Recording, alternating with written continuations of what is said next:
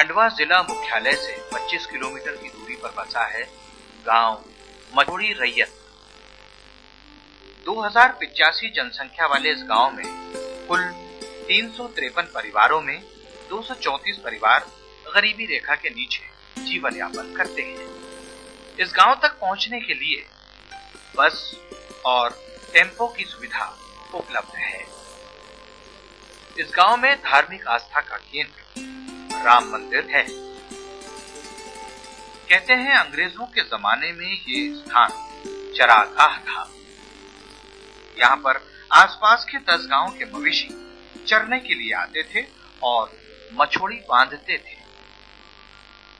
कुछ दिन बाद यहाँ आबादी हो गई और इस गाँव का नाम मछोड़ी रैयत पड़ा। इस पंचायत का गाँव सरई तवा नदी के किनारे पर बसा है।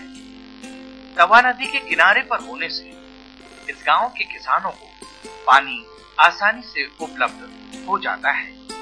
यहाँ की अधिकांश भूमि सिंचित है।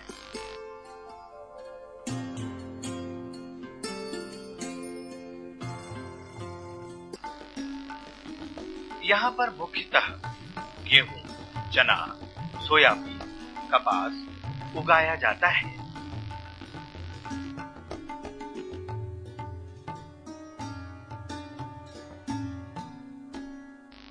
साथ ही समय समय पर अन्य फ़सलें भी उगाई जाती हैं।